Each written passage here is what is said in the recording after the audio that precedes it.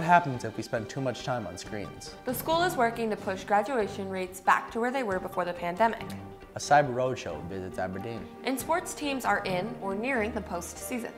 Hi, I'm Kobe Dowen. And I'm Courtney Thorstensen, and you're watching Eagle Zone. Devices are helping us in many ways, but can there be too much of a good thing? Eagle Zone's Jacob Kohlhaus has looked into screen time and how it can affect us. Jacob? Computers, phones, tablets, and screens are a part of everyday life, but for us as students, how much should we be using them? You might see students and teachers go back and forth about having phones in class, but what helps kids? I mean, there are both positives and negatives to phones in the classroom. It's not that screens are bad. The question is the amount of time we spend on them.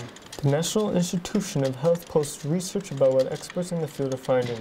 According to that research, screens can improve education and learning, but too much time spent in front of a screen can hurt a student's focus, control, and ability to switch between tasks. Screens can also get in the way of academics. There is a direct correlation between phone usage and your grades. So if you're constantly on your phone, your grades probably not going to be as high as they probably could be. You might pass the class, you might learn a couple of things, but if you actually put your phone away and focused for those 86 minutes on just doing one thing, you would probably learn a lot more.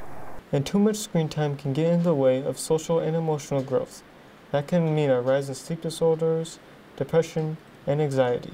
At Central High School, esports coach Andrew Cobbs recognizes those issues. He wants to see the sport help students who might spend a lot of time in front of a screen and develop other important skills.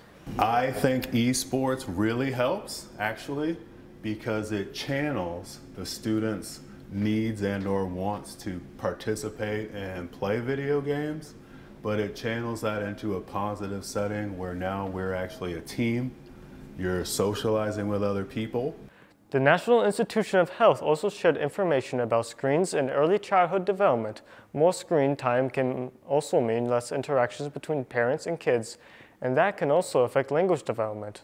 That study Jacob talked about suggests adults can reduce the possible negative impacts of excessive screen time and promote children's healthy development by encouraging alternative activities that stimulate development. We know the first round of qualifiers for the National Speech and Debate Tournament. Emmy Bangs will represent Aberdeen and Lincoln Douglas, Ashley Crouch and Daisy Williams in informative speaking, Brianna Woolman and Carla Garcia in oratory, Caleb Ringenberg and Rylan Johnson in international extemp, Damon Sheets in humor, and Matt Compton in program oral interpretation. Central Show Choir returns to Aberdeen with another win. Eagle Express is grand champion of the Shake the Lakes event in Spirit Lake, Iowa. The group also earned Best Vocals, Best Choreography, Best Band, and People's Choice. Jackson Rott earned Best Bass Soloist. Aberdeen Central has historically enjoyed high school graduation rates, and it wants to see those numbers pick back up after a post-pandemic dip. Eagle Zone's Ethan Getz joins us with that story. The Aberdeen School District is seeing a dip in graduation rates. The last couple of years has been down compared to the rates the school is used to seeing. Two years ago, it was 90%. Last year was 84%. At Aberdeen Central High School, Assistant Principal Jake Phillips says there could be different reasons, but the timeline points to the pandemic. That's probably the biggest thing that we've seen is that, that steady decrease since COVID. Um, because prior to that, our numbers were really strong at that 90% or better. And actually, more on the better side, looking back the past five years, in 1819 school year, Aberdeen's graduation rate was 5% above the state average. Same for 1920. The next year was 4% above. Two years ago, it was on par with the state average. And last year, 7% lower. Phillips says there isn't a single reason that covers all students who drop out, but adds that lower graduation rates show up the same time more students move on to online learning. So some of those students didn't progress as well as we had liked or that, that they had hoped for originally. Um, so some of them didn't graduate on time. We spoke with students who didn't want to talk about it on camera, but shared it was hard to keep pace through the online learning. One of this year's seniors said he only earned half the credits he was supposed to as a freshman online. He came back to in-person learning, caught up, and is now on pace to graduate.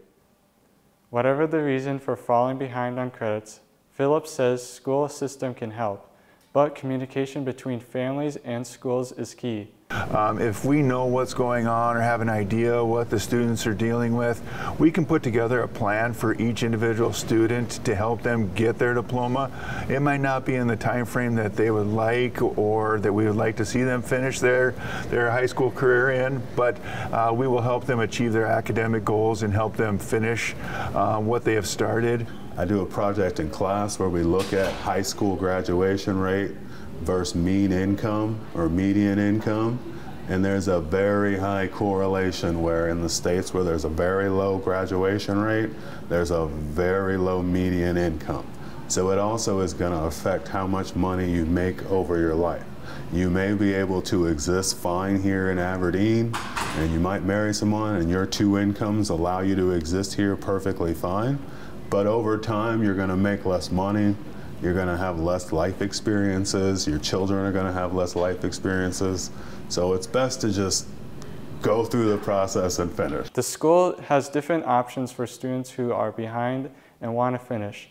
Completing classes online, attending night school, there's summer school online, and working on incomplete classes or working with teachers to retake tests or assignments for failed classes. Phillips calls this a joint effort between students schools, and families, whether they're freshmen or students who've been in high school four years and haven't finished yet. We're working with 14 to 18, 19 year olds, and we're trying to help them develop the skill to advocate for themselves and become independent. But some students just need a little bit more uh, push or shove from their family and their educators to make sure that they stay on, on par with what they want to accomplish. Attendance has also gone down since the pandemic, and that has a connection with success in school. The Aberdeen School District has a campaign in place to push those numbers back to where they were before COVID. Thanks, Ethan. It shows you worked hard on that story. If you left high school without your diploma, you can also earn your GED. We checked with the State Department of Education and it counts GEDs when calculating the high school completion percentage. So get that done and watch your work add to next year's graduation rate. The French classes at Central are celebrating with others around the world. They sported masks and ate French food to celebrate Mardi Gras. They also had some staff members enjoying the celebration. This comes after the group celebrated the Winter Carnival in January. That's the famous car carnival in Quebec, Canada. And Aberdeen teachers earning recognition in the state. James Stearns earned the Distinguished Science Award the distinction is given to a person whose dedication and contributions have impacted and improved the South Dakota Science Teaching Association and the STEM Ed Conference. During his recognition, Stearns is described as a visionary, a trailblazer, and an irreplaceable pillar of our science teaching community. Central students and some others in the area are learning more about tech jobs that could be waiting for them. Instructors from Dakota State University visited the ATEC Academy for a cyber roadshow. Eagle's own Peyton Head joins us with that story. Peyton? That event may expose students to new ideas and maybe even new career paths. It brought multiple experts from their fields to demonstrate what they do. This day camp for students is part of an overall effort to promote the cyber field in South Dakota. We have a cyber roadshow. It's from through the Governor's Cyber Academy at Dakota State, and so uh, we're working on expanding awareness of cyber career possibilities and then access to um, some of the different fields and education pathways. And so we're um, coming here to, to showcase some of the different um, different concepts, and so students can learn about uh, different pieces of the field. Venetia Hellman says that only about 4% of high school students are taking a computer class every year, and that they are wanting to expose kids to some of the different possibilities in the technology field. Uh, we're really excited to be here, and we're, we're um, hopeful that this will just kind of open, open some eyes and that we'll be able to continue to uh, connect with students here and, and bring them to campus or come back again. The roadshow I thought was pretty interesting. I mean, we got to do certain kind of coding, learning how AI intelligent works, is trained, how to solder. One message the group is trying to send is this.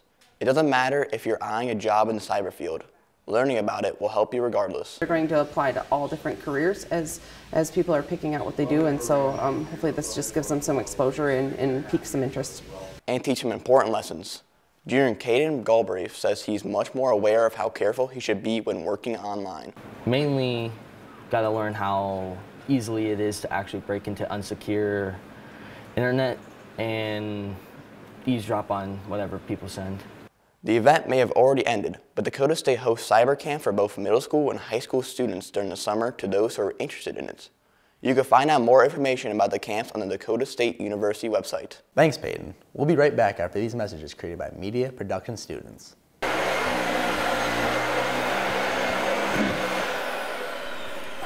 at school, honey. See you later, Mom.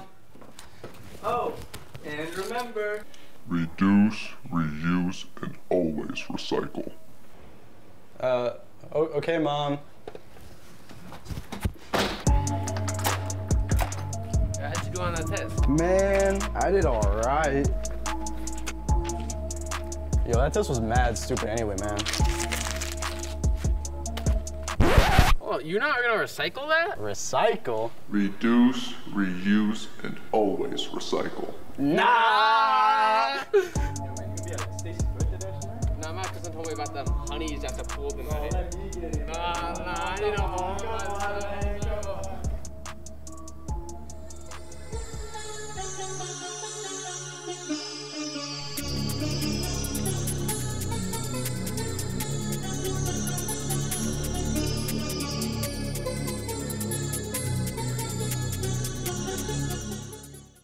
Welcome back. It's another week full of basketball and other sports. Eagle Zone's Gavin Bitts joins us with sports.